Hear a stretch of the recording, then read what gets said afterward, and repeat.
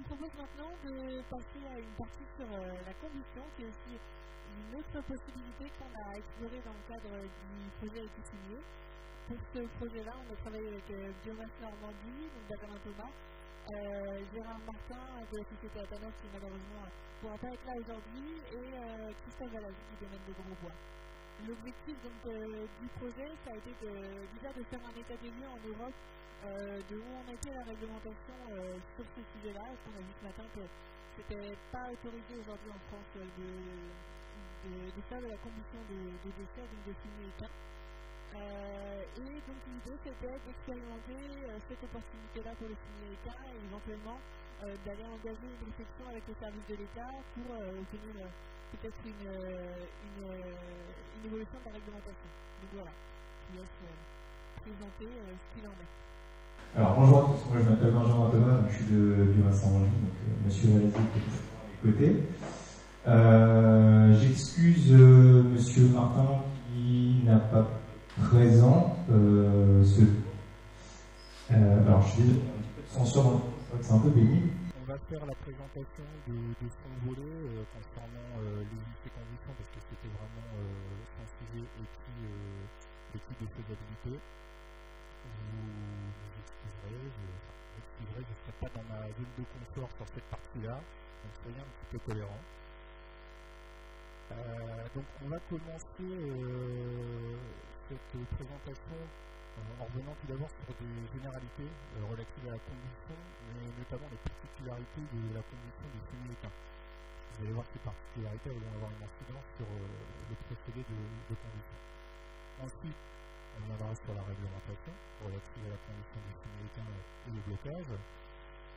Euh, on vous présentera les, euh, les résultats des essais de condition qui ont été menés par Atomor sur le américain au travers d'un prototype, le prototype Vali.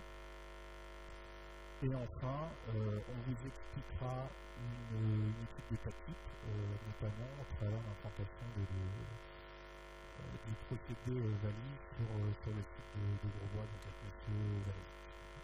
Donc on ne s'est pas encore vraiment structuré pour remplacer M. Martin, donc on se changera peut-être une autre manière assez impromptue. Donc concernant les généralités sur la condition, euh, je voulais vous représenter quelques petits éléments parce que euh, la condition c'est pas juste une allumette, une buse et puis ça fait des flammes, il faut le décomposer de manière un petit peu plus complexe pour comprendre les choses. Euh, tout d'abord, lorsqu'on va se lancer dans un processus de combustion, la première euh, chose qui va se passer dans cette euh, série d'étapes successives, ça va être la phase de séchage. C'est-à-dire que le combustible, on va l'assécher. Et ça, ça va être important parce que plus on va avoir un combustible humide, plus cette, étape, de séchage elle, elle va être énergivore. Et donc, ça va diminuer le rendement de la combustion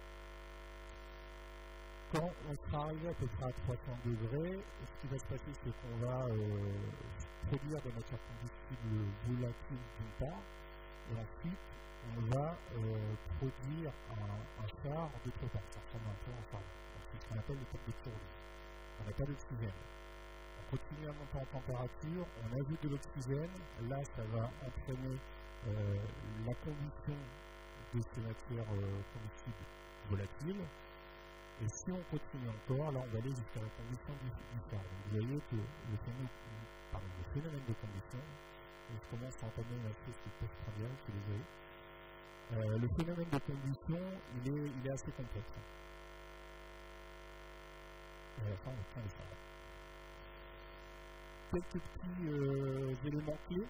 Euh, le pouvoir calorifique, donc ça c'est une notion importante, c'est en gros, euh, pour une quantité donnée de combustible, c'est le contenu énergétique qui va euh, détenir. Et ça, ça va impacter sur le débit de combustible qui va être nécessaire en entrée de foyer. Le taux d'humidité, je vous l'ai présenté tout à l'heure, hein. en début de combustion, on a une phase de séchage. Donc, euh, plus vous avez un, un, combustible avec un taux d'humidité élevé, euh, plus vous allez avoir un pouvoir calorifique qui va diminuer.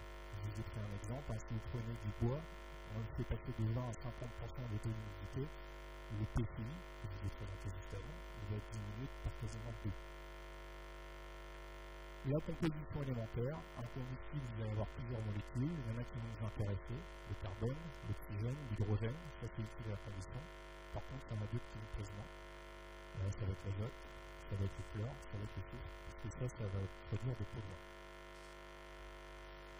Le taux de on fait de la combustion, je l'ai dit, on va, générer des cendres, et en fonction du combustible qu'on va avoir en entrée, eh ce taux il va plus. Le dernier point, la température de fusion des cendres, c'est-à-dire euh, que les cendres, à partir d'une certaine température, elles vont se vitrifier et elles vont produire ce qu'on appelle des matières. Et ça, ça va être compliqué pour la suite. Donc il faut essayer de, limiter cette, euh, cette vitrification, ce qu'on appelle la fusibilité des cendres. Et vous verrez que pour euh, le fumier notamment, euh, cette fusibilité, elle est, assez basse. Donc justement, je vais reprendre un petit peu tous ces paramètres et je vais les comparer à un combustible de référence qui est de la plaquette forestière. Hein. Alors, désolé pour les animations, c'est pas hyper. Le degré d'humidité. Euh, si on regarde sur du fumier éteint, donc ça ce sont des données globales, hein, on s'aperçoit qu'on est à peu près à 60%. Euh, par rapport à de la forestière, on est plutôt à 20 à 40%. Pour le pouvoir calorifique, euh, là, on va avoir un pouvoir calorifique qui est quasiment deux fois moins important que de la plaquette. Euh, on va avoir une masse volumique qui elle aussi est deux fois moins importante, c'est-à-dire qu'il va falloir alimenter euh, de manière plus importante le, foyer, ça va aussi avoir des contraintes logistiques hein, en amont de, de, la condition.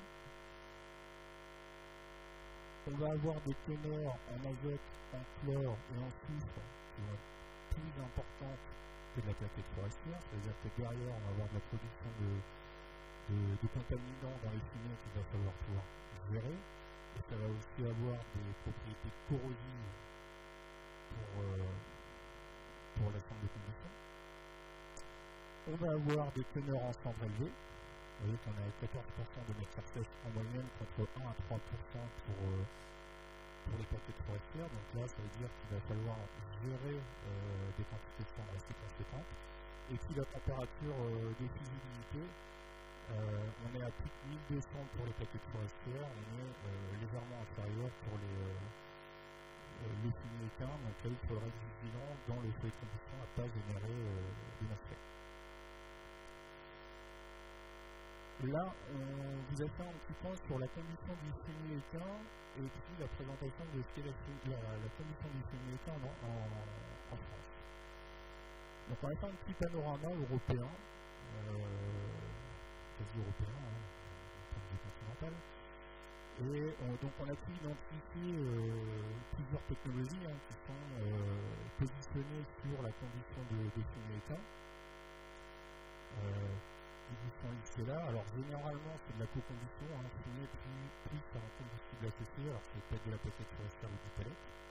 Et puis ça on peut l'observer dans pas mal de pays en Europe, sauf en France. En France on a une chaufferie qui est en fonctionnement, d'ailleurs je ne sais même pas si encore, et dans un cadre dérogatoire, euh, au niveau d'une clinique vétérinaire. Euh, alors oui, c'était tout à l'heure, actuellement, on ne peut pas brûler euh, du euh, dans une installation de condition en France. Je y arrive. Alors, on a une petite particularité. Euh, en fait, on a la confrontation de deux réglementations qui sont applicables. Vous avez une réglementation qui est d'ordre européen, qui elle vous dit ça, ça a été présenté par euh, Pauline en début de matinée, euh, le éteint est considéré comme un gibier, c'est un sucre animal, et selon ce règlement européen, vous avez la possibilité de faire la condition de ce gibier dans certaines installations en respectant ce qu'on appelle des, valeurs limites d'émission que je vous ai reproduites ici. Donc à l'échelle européenne, pas de problème. Une particularité en France, c'est qu'on a rajouté une plus. Et là, malheureusement, euh, là c'est au niveau de la protection de l'environnement. On a une réglementation qui s'appelle euh, la réglementation CPE, installation classée pour, euh, pour la protection de l'environnement. Et on a une catégorie pour les installations de combustion. Et en fait, en fonction du statut qu'on va donner au, au fumier, ben, on pourra pas ou pourra, de manière très contrainte, brûler ce, ce équin. Si on considère que le équin c'est bien un combustible, eh ben on sera sous une certaine catégorie, alors c'est désolé, c'est du réglementaire, c'est un peu lourd, mais on pourra le brûler en effet, mais on sera en résine d'autorisation 200 kW, c'est-à-dire que des petites chauffies, 100 kW c'est pas gros, hein, vont être en régime d'autorisation. Autant vous dire, c'est complètement euh, non viable. L'autre possibilité, on considère que le est un décès, et bien là, en fait, on va sur des installations d'incinération, de co-incinération. En gros, ce sont des installations qui, euh, au jour d'aujourd'hui, vont plutôt aller brûler des décès. Donc là, on est aussi sur régime d'autorisation, et ça, dès le premier kilo. Donc, autant vous dire que, dès de cette réglementation-là, on ne peut pas, en France, euh, assurer la condition de une, non-uniformité des normes en Europe pose problème sur ce sujet spécifiquement. Ce que je peux vous dire, c'est qu'à Calmar, sur l'hippodrome de Calmar, ce sont des litières copeaux qui sont brûlés, 100% copeaux. À Babenhausen, c'est une clinique vétérinaire en Bavière, et qui soigne des chevaux, des vaches, tout type d'animaux. Donc là, ce sont des litières qui sortent directement des box de la clinique vétérinaire qui sont brûlés dans deux carrières euh, domestiques euh, sans difficulté. L'an dernier, nous étions en Suisse, euh, sur la réglementation, où j'ai vu en fonctionnement une chaudière danoise alimentée en litière paille pour vous dire l'intelligence des fils, après je ne parle pas de, normes, je pas capacité à dire si c'est bien ou pas bien, mais je vais vous expliquer ce que j'ai vu. Un agriculteur en Suisse a installé une chaudière biomasse paille danoise. Il approvisionne cette chaudière avec des liqueurs qu'il collecte dans les centres typiques alentours. Il utilise une partie de la chaleur produite par sa chaufferie pour tester, devinez quoi, du cannabis médicinal. Au-dessus, son séchoir est au-dessus des torions qui sont en bas, en stabilisation, et son torion sont taillés avec des liqueurs qui ont subi un traitement thermique, donc qui passent du cheval, après traitement thermique, qui vont au torion. L'agriculteur m'a dit logique c'est formidable, depuis que j'utilise les liqueurs pour mes torions, plus du tout de problèmes respiratoires. Euh, c'est en ce soir, les poussières ont enfin, dépoussiéré entre guillemets les liqueurs. Ces torions sont portant mieux, ils testent son cannabis quasi gratuitement avec des fumiers collectés dans les centres typiques autour. Donc je trouve que le système et j'espère qu'on pourra nous montrer collectivement qu'il y a probablement des choses à expérimenter. Hein, on n'est pas là pour aller contre la réglementation, mais aller euh, montrer par l'exemple qu'on est capable de faire des choses vertueuses. Je terminerai euh, par le fait que sur la combustion, sur le, cas spécifique de Grosbois, euh, on a un jugement de l'hyper copo qui aujourd'hui n'ont pas d'exitoire. Il n'y a pas de circuit de valorisation de l'hyper copo. L'administration nous en trouve quand même une porte, donc c'est le point positif que je voudrais retenir aujourd'hui, euh, même si aujourd'hui on, doit prouver que, ce qu'on veut mettre en œuvre est vertueux, mais ouvre la porte sur le fait que sur certaines catégories litières où il y a beaucoup de bois, typiquement les litières copeaux, qui sont issus de, de cliniques vétérinaires ou de chevaux de course ou d'hippodromes, on peut considérer si, par, prie le produit, on pourrait considérer matière que l'on brûle n'est pas une matière, mais la matière d'origine, c'est-à-dire. Voilà. Donc, ça, c'est la porte.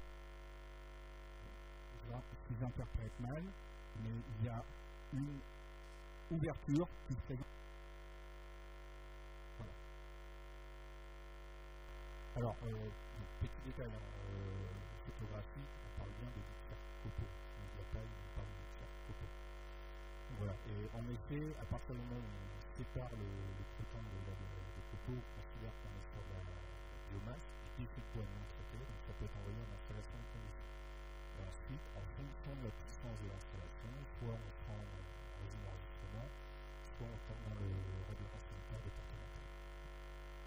Je peux rappeler à certains qui ont peut-être vu dans certains supermarchés, il y a quelques chez Leroy Merlin, par exemple, pour ne pas les citer, un produit qui s'appelait Equibus qui était de la liqueur copeaux compressée sous forme de bus et donc vendue aux particuliers euh, pour mettre dans les cheminées, les poêles à bois, etc. Et à l'époque, moi, je démarrais mes études euh, sur la combustion militaire. Je dis, mais comment expliquer que vous vendez à des particuliers On autorise la vente aux particuliers de produits que moi, je ne pourrais pas brûler dans une chaudière où j'ai envie de bien faire, d'avoir les autorisations, etc. Donc, c'est vrai que le sujet est, très critique ce qui est clair, c'est qu'il y a autant de combustibles que de scientifiques. On l'a vu tout à l'heure, Pauline nous a fait une présentation un des échantillonnages sur les litières, énormément de variabilité. Il y a énormément de variabilité sur la paille, parce que ça, j'en ai fait un peu le faire aussi, sur la teneur en silice en fonction du terroir qui pose des questions de conditions de visibilité euh, dont M. Thomas a parlé. Euh, moi, pour tout vous dire, j'ai branché un des chaudières domestiques, euh, RECA, Biocontact et autres, sur mon réseau à Grosbois. Et je me suis dit, rendu compte qu'effectivement, la, formation de master, de scoring, dans le était, contraignante, donc ça limitait. On ne peut pas brûler ce type de combustible dans n'importe quel type de chaufferie. Ça, c'est un point important. Je pense qu'il faut vraiment aussi cibler l'usage qu'on veut en faire. Euh, sur un poêle à, à, à pellets ou domestique, ça demande à être expérimenté, validé. Par contre, sur la chaudière industrielle, c'est pour effectivement se dire on peut développer des filières pour produire un combustible issu hein, euh, si, la réglementation l'autorisait. Ensuite, il faudra voir à quel type de chaufferie collective je pense, on peut, s'adresser sur la, le poil individuel, ça me semble un peu euh, irréaliste. Pour des questions d'après-vente, tout simplement, parce qu'on aura des clients qui seront mécontents parce qu'ils auront leur poêle à qui sera soit corrodé, soit encrassé assez rapidement. Vous avez la transition avec euh, les aspects réglementaires euh, concernant euh, les petits cafés, donc je vous l'ai dit en, en gros sous les euh, souscrits de puissance inférieure à 1 MW en est sur le règlement sanitaire départemental, donc c'est moins contraignant. Néanmoins, c'est pas ce qu'on veut. Il y a quand même, je vais vous passer les, les différents hein, je ne vais pas aller le détail, mais il y a quand même des, des textes à prendre en compte, euh, que ce sur les constructions des chaudières à combustible solide euh, de puissance inférieure à 500 kW avec des VLE en face. Euh, mais aussi, et là c'est certainement plus le cas sur la, région de France, euh, la mise en œuvre des plans de protection de l'atmosphère qui vont concerner donc, les agglomérations supérieures à 250 000 habitants, euh, qui vont venir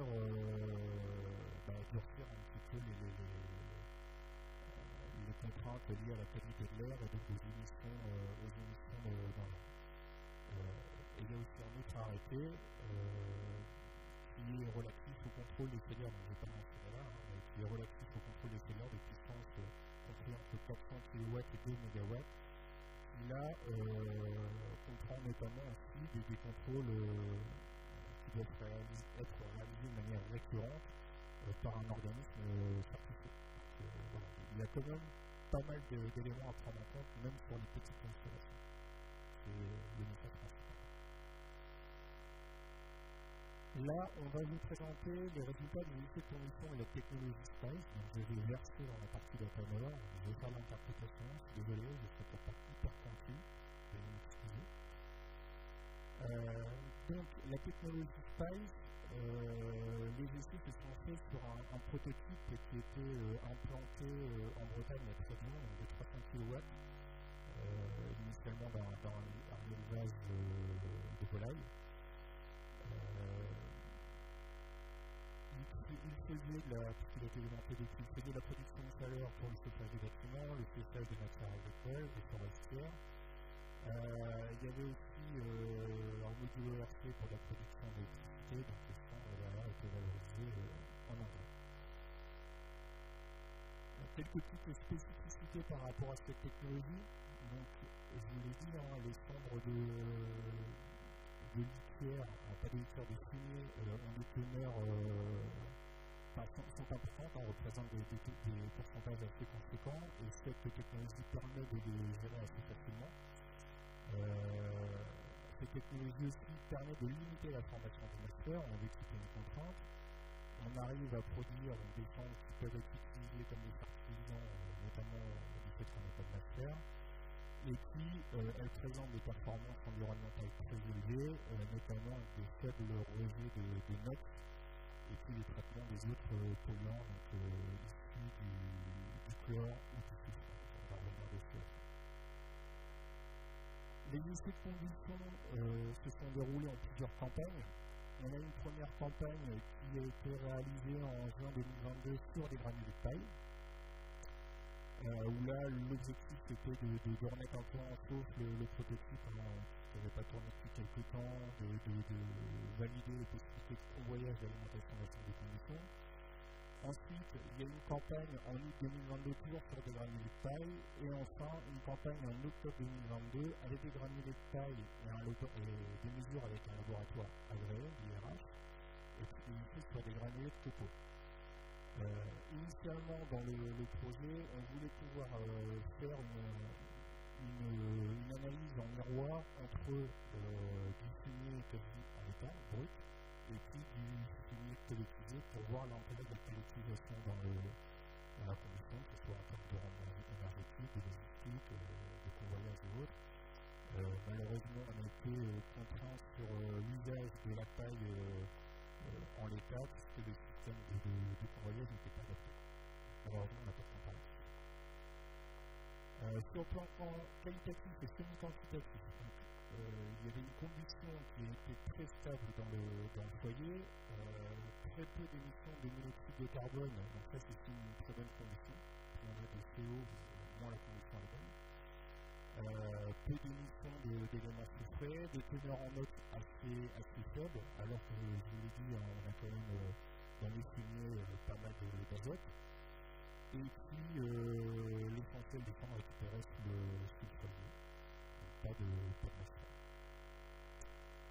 Si maintenant on regarde les, résultats euh, plus euh, à l'issue des mesures faites avec l'IRH, donc là vous avez les interprétations en lien avec les résultats ici. Donc les émissions de poussière que vous avez ici, on voit qu'elles sont de 2,6 mg par normomètre cube alors que la VLE elle est à 10, donc on est dans. Euh, pas d'absence de, euh, absence pardon, de monoxyde de carbone, pas de euh, d'ammoniac dans le système de traitement, des émissions de, de, de produits euh, qui seraient un petit peu supérieurs à la, VL, à la VLE, donc on est 82 alors que la VLE elle est à 50, mais ça, ça peut se résoudre par l'ajout de, de, produits carbonés dans le, dans le combustible, ça se traite facilement pas une contrainte euh, majeure. Et puis euh, les émissions de NOx, elles sont aussi supérieures un petit peu à la VLE, mais là c'est pareil, c'est juste une question de réglage du ce qu'on appelle le SPR, hein, qui permet d'adaptation euh, en NOx dans les, les. Donc, en fait, euh, en gros, sous condition de réglage, il est, il est possible de, répondre, euh, de maîtriser le réseau dans, dans l'atmosphère. Euh, au regard des VLE, alors je tiens à préciser quand même que les VLE qui sont prises en compte là, ce sont les VLE du règlement euh, européen, euh, qui produits annuels, et pas euh, les, les, VLE ICP. Donc vous voyez que on, on a des performances hein, sur, euh, sur, la qualité de la condition et puis la, gestion des, des. Euh, maintenant, donc, là, ça va être la deuxième partie du travail qui a été réalisé par, par Atanor, et l'objectif de ce travail, c'était de réfléchir à à l'implantation euh, dans un cas concret du module Spice qui vous a été, euh, qui vous a été présenté. Et pour le coup, euh, déjà, on a essayé de regarder sur l'ensemble du périmètre du programme étudié, donc dans l'Angle de France, quels étaient les sites qui généraient plus de 1000 tonnes de fumée, parce qu'on considère que c'est à peu près à partir de 1000 tonnes de fumée que l'implantation d'une chaudière pourrait se justifier temps tenir compte des besoins énergétiques. C'est-à-dire qu'on va pas mettre une chaudière qui n'a pas besoin énergétique. Mais au regard de ce critère du jugement, on voit qu'on a quand même 94 sites qui peuvent présenter un intérêt. Euh, donc la réflexion, elle a été menée sur euh, Grosbois. Je sans s'étendre, hein, euh, un Grosbois réalisé il y a une dizaine d'années en préalable, mais c'est déjà existant, donc un réseau de chaleur qui vient interconnecter nos chaudières domestiques, qui sont pour la plupart au fioul et au gaz, donc les interconnecter avec l'idée qu'on fasse une centrale, une chaudière biomasse, et que mes chaudières existantes, puisqu'elles sont là, elles servent de secours. Hein, euh, donc un échangeur à plaque entre le réseau primaire des chaudières existantes et le réseau euh, existant et le primaire du réseau de chaleur. Donc euh, on envisageait un positionnement de la chaudière, un endroit qui soit facilement où il n'y a pas évidemment, où on a nos tracteurs, nos véhicules pour être dans l'optimisation, pouvoir, pouvoir travailler en exploitation avec les moyens du, site. Je tiens à préciser aussi que pourquoi on a positionné ça ici, c'est que sur Grosbois, nous avons une clinique vétérinaire euh, donc, euh, euh, avec lequel nous portons un projet d'agrandissement. C'est-à-dire qu'une clinique aujourd'hui une trentaine de box, et le projet est de 50 à 60 box. Et le parti pris de la clinique, au vu cette potentialité de valoriser la litière en chauffage, c'était de dire on passe 100% de box en copeaux, avec un système d'aspiration dans chaque box qui permet d'alimenter directement la chaudière. C'est la raison pour laquelle on a positionné euh, cette chaudière euh, pas très loin de la piste couverte qui va, et du manège qui vont euh, à terme accueillir la, nouvelle clinique de Grosbois.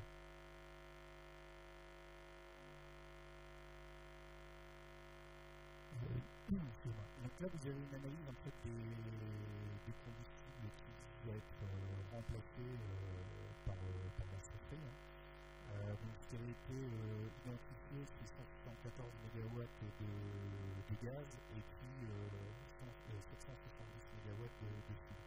On va avoir 950 MW à substituer par une, une chaufferie brûlant du, du. Alors là, je ne vais pas revenir dessus, ce sont des analyses, une caractérisation des litières sur le, le site de, de Grosbois. Hein, euh, on avait un tonnage disponible de 600 tonnes. Euh, voilà, vous avez deux indicateurs qui ont l'azote, ont un fond, tous les paramètres qui sont, euh, qui sont rappelés. Euh, la solution SPICE qui a été retenue, euh, donc elle a une souplesse de deux points, c'est-à-dire qu'elle est capable, elle a une, une puissance nominale de 500 kW, elle est capable de travailler jusqu'à 200, à descendre à 250, c'est ça qu'elle est bien. Euh, positionnement d'un hydroaccumulateur, économiseur, euh, production de chaude à 70-90 degrés, une extraction des cendres en voie sèche. Euh, là, c'est une petite particularité quand même, voie sèche, parce que euh, c'est-à-dire qu'on avoir des cendres qui être plus virulentes, donc ça, il faut faire attention à la gestion. Et puis, donc, valorisation de la chaleur pour le chauffage des bâtiments uniquement. Euh, un module ERC qui avait été proposé, qu'on a, qu a un module ERC, ça permet de produire en complément de, l'électricité. De pas, de pas dans le cahier des charges, on va dire, euh, ici, vous avez un schéma descriptif euh, de l'installation. Euh,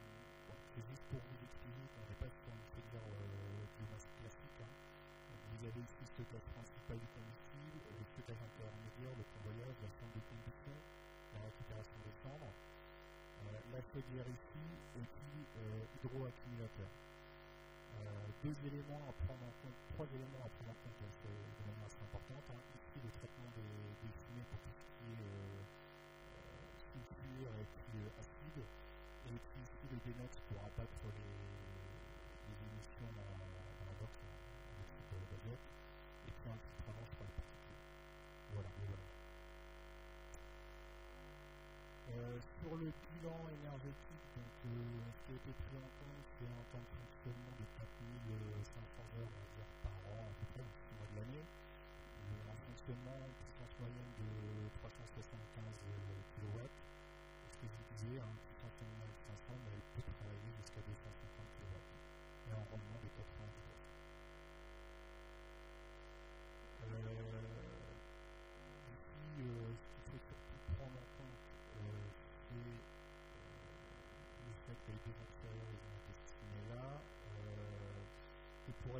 ça, utiliser 80% des, des qui sont disponibles dans, sur le site. Donc il encore 20% qui sont une source de production euh, de chaleur euh, supplémentaire qui correspond à 370 MW, qui permettrait de pouvoir d'autres besoins éventuellement. Et puis on a toujours une petite consommation de gaz résiduel, notamment pour le, le démarrage de la, la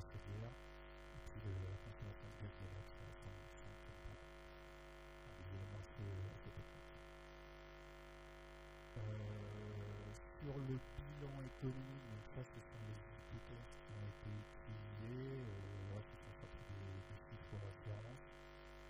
Euh, ce qu'il est important de prendre en compte, c'est que dans cette analyse, il y a quand même 70% de financements qui ont été pris en compte, peut-être un peu, un et puis une valorisation du, du CO2 euh, qui n'est pas liée à hauteur de 100 euros la tonne. Tous les projets que je porte, que nous portons sur Grosbois, justement pour vocation de garantir et de stabiliser nos entrants, à savoir que ce soit la litière copeaux ou la litière paille, parce qu'on connaît exactement d'où ils proviennent et on sait qu'elles sont normées.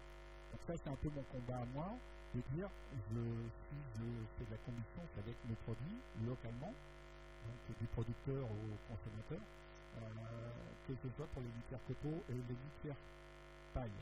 Par contre, évidemment, si vous avez un intérêt à, vous recherchez des copeaux,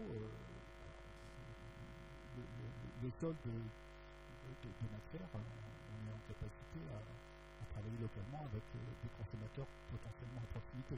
Mais euh, typiquement sur la méthanisation, on en parlera tout à l'heure, on a une ressource sur Grosbois, hein, donc il y a, une, capacité d'accueil de 1500 chevaux, qui sont tous des chevaux de course, qui sont conduits à peu près sur les mêmes euh, hein, euh, donc avec un temps de box, un temps à l'extérieur identique, essentiellement sur des litières paille, qui sont surtout quasiment exclusivement des pailles de blé, euh, et qui sont collectés depuis 50 ans sur le site pour un exutoire qui aujourd'hui, une valorisation aujourd'hui dans la filière champignon. Donc autant dire qu'il y a eu une éducation de nos producteurs, qui sont les entraîneurs stationnés sur le site, euh, pour produire un unitaire propre, sans ficelle, sans fer à euh, voilà, qui pose des, problèmes dans les process industriels. Donc le, mon ambition, je ne sais pas si elle est réaliste ou pas, moi je suis convaincu qu'on arrivera à se rapprocher de cette ambition, c'est-à-dire on va valoriser nos litières propres sans importer d'autres intrants, sinon c'est facile, hein, euh, c'est des bouts de step qui ne frappent à la porte tous les matins, euh, les déchets, euh, déchets ménagers pour demain, que ça, ça implique d'autres technologies déjà on va essayer de, de rechercher des technologies adaptées à la paille avant d'envisager des technologies qui manqueraient un peu tout. Euh, et moi je suis convaincu que dans le domaine du sable, on a de l'or entre les mains. Il y a un produit qui s'appelle l'or brun, vous trouvez en grande surface, c'est une fumier de cheval. Euh, le fumier de cheval, il a ce gros avantage par rapport à un pack de déchets, c'est pour, ça que je pense qu'il mérite un statut particulier, c'est que comme les agriculteurs, ils vont enrichir euh, leur terre localement avec les, les, de, bovins ou autres, la litière de cheval, c'est on ne devrait pas considérer ça comme un déchet, c'est l'erreur qu'on fait, mais comme une source euh, d'enrichissement de, de, nos, de nos terres agricoles essentiellement.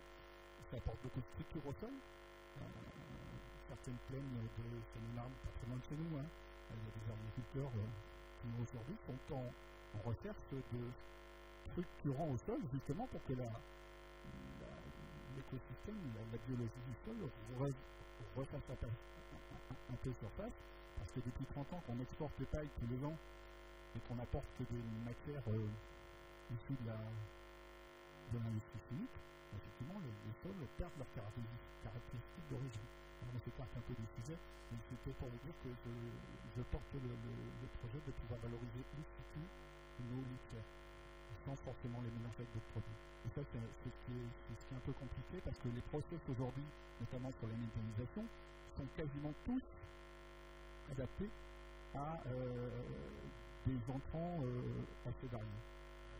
Donc pour finir sur le, bilan économique, euh, juste deux chiffres, hein, on va pas dans le détail. Euh, compte tenu des hypothèses que je vous ai présentées tout à l'heure, hein, donc euh, l'investissement net qui serait de l'ordre de 500 000 euros à peu et puis un, temps de retour de 4,7 ans sur, le projet tel qu'il a été construit pour, pour Conclusion sur, le travail qui a été mené sur le, le volet hein, l'objectif c'était de voir si on arrivait à faire bouger un petit peu les, lignes euh, liées à la contrainte réglementaire. Euh, voilà, malheureusement, euh, le cadre réglementaire reste très contraignant. Il ne permet pas de valoriser le américain par condition en l'état. On a des portes qui sont ouvertes, pas, pas en signé en l'état, alors que le cadre européen on a fait solution alternative, une possibilité de, de dissocier la litière du, euh, autre part. Euh, et puis ce que les essais de conditions ont permis de, de montrer, hein, c'est qu'il y a une technologie qui a été c'est le, space, qui permet de, de, respecter les seuils réglementaires imposés, alors avec des traitements qui sont quand même pas, pas négligeables, hein, euh, traitement euh, des sous, du corps et des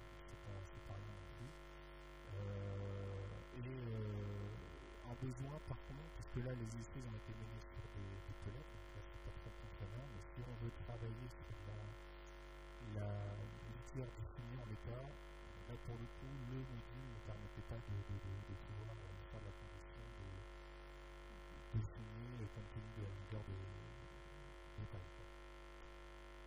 Voici dans le